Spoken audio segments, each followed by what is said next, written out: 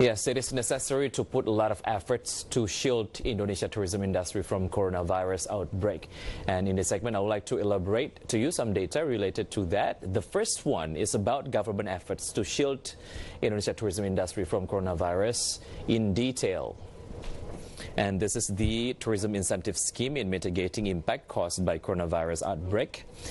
Um, the um, various of programs uh, planning to be implemented by government. The first one is promotional activities as much as 103 billion rupiah. And then after that, we have airways and travel agents, or will, the incentive will be allocated for airways and travel agents as much as 98.5 billion rupiah, influencers 72 billion rupiah, and tourism activities as much as 25 billion rupiah. The government will provide an incentive of 298.5 billion rupiah to encourage foreign tourists to visit to various destina uh, destinations in Indonesia. The reason domestic tourism sluggish affected by the increasingly severe coronavirus spread. Promotional activities received uh, the largest amount, amounting to 103 billion rupiah. Then, airline and travel agents also get incentive of up to 98.5 billion rupiah. In order to provide special discounts to foreign tourists, influencer services and tourism activities believed or received 72 billion rupiah and 25 billion rupiah respectively. And hopefully the efforts will work really well. And another subsector from tourism also affected by coronavirus outbreak, and that is small medium enterprises. So how huge the impact on this sector? Let's see the data. This is SME as a sector got hit by coronavirus outbreak. And uh, in food and beverages sector, the yellow ones indicate for the micro segment. Uh, the red one is indicate for small sector and um, green one is uh, indicates for the um, medium uh, segments. As you can see, uh, food and beverages is the sector that got hit most by the coronavirus outbreak. Tourism is the sector most affected by the coronavirus, or now called COVID 19.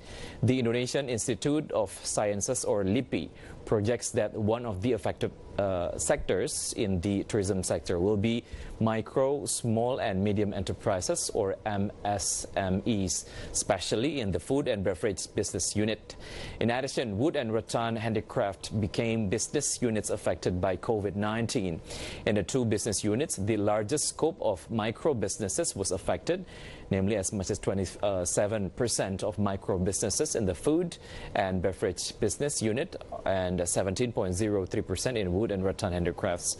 And for uh, information, the total loss from the tourism sector reached 2 billion US dollar with a decrease in um, craft growth of 0.013% profession of accommodation by 0.008% and food and beverage by 0.006%.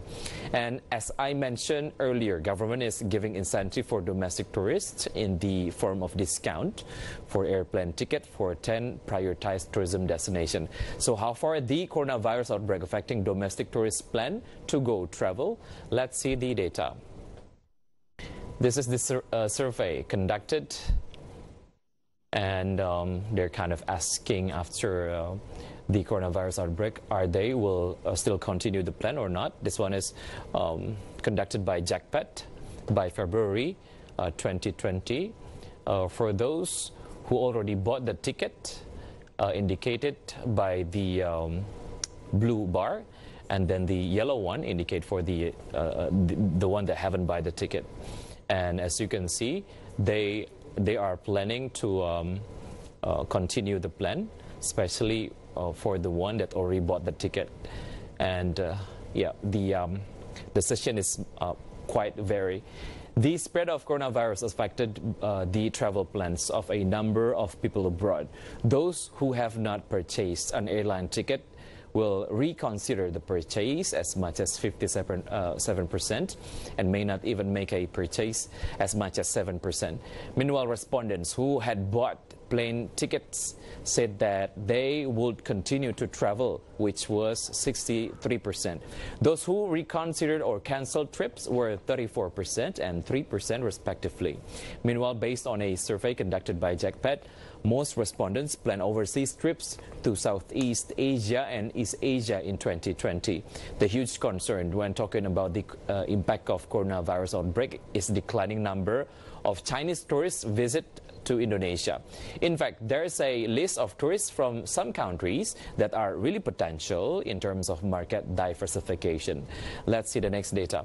This is foreign tourists with the highest expenses based, uh, based on their originated countries and the um, highest or, or uh, tourists with the highest expenses when they're visiting Indonesia uh, is came from or, or, came from Saudi Arabia with the um, average of expenses they um, used to uh, spend in uh, Indonesia as much as 2,277.4 thousand US dollar. And uh, after Saudi Arabia, we have Egypt, Russia, Denmark, and Canada. Saudi Arabia always occupies the first position as a country with the largest expenditure of foreign tourists in Indonesia. At least from 2015 to 2018, its position never shifted. On average, tourists from Saudi Arabia spent 2,277.41 US dollar or 32.1 million rupiah. Egypt and Russia followed, respectively, and an average expenditure of foreign tourists of 2,129.4 US dollar and 2,099.87 US dollar. The nominal is equivalent to 30 million rupiah and 29.6 million rupiah. And talking about loss following pandemic events, this is the comparison of economic loss caused by pandemic events in the world the amount of economic loss caused by 2019 nCoV in 2020 as much as 62 billion US dollar. Caused by MERS as much as 10 billion US dollar, Ebola 53 billion US dollar, swine flu 50 billion US dollar, bird flu 40 billion US dollar, and SARS as much as 40 billion US dollar and data from learnbonds.com. The corona novel virus or 2019 nCoV has become the most expensive epidemic in the last 20 years. Recorded economic losses due to viruses that attack parts of mainland China projected at 62 billion US dollar. This figure is greater than the economic loss from Ebola, which is valued at 53 billion US dollar. The report also mentions the Chinese government prioritizes the prevention of the virus by allocating funds of 12.6 billion US dollar. These funds are intended for medical care and equipment. In addition, leading banks have reduced interest rates for small businesses in the worst hit areas, including Hebei province, which is the center of the virus. And at the end of the day, let's hold hands each other, pray for the vaccine and the cure to prevent and heal from disease caused by coronavirus. Stay tuned on Market Lance because we will be right back after the break.